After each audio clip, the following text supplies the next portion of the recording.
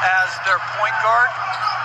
You know, everybody acts like it's an easy decision now, but that's a hard decision. He's got such a cool, calm demeanor on the floor as well. Smart belling up on Durant.